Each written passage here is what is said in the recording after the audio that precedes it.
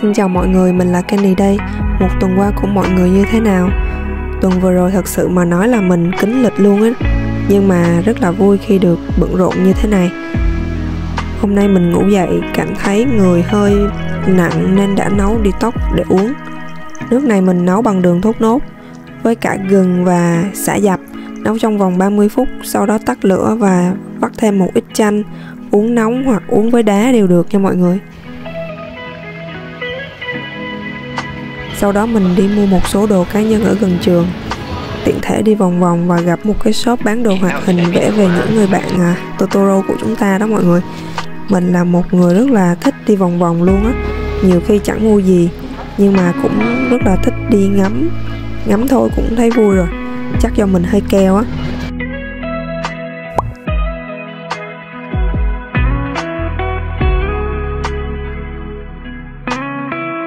Giống như là những cái item này nè, rất là dễ thương, mà mọi người biết rồi đó.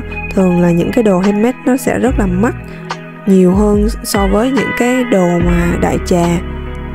Vì họ đã bỏ rất là nhiều thời gian ra cho một sản phẩm mình rất trân trọng. Nhìn ngắm ngưỡng mộ là sở trường của mình, nhưng mà nếu vượt qua khả năng của bản thân thì mình cần phải suy nghĩ đắn đo nhiều hơn trước khi mua nè. Nên hôm nay mình cũng sẽ vẽ Totoro nha mọi người lần này mình vẽ em nó chắc cũng là lần thứ N rồi đó. Mình nhớ có những cái video dài và cũng có những cái video ngắn vẽ về em nó rồi. Mình sẽ à, gắn lên đây cho mọi người à, có thể lít vào và xem thử nha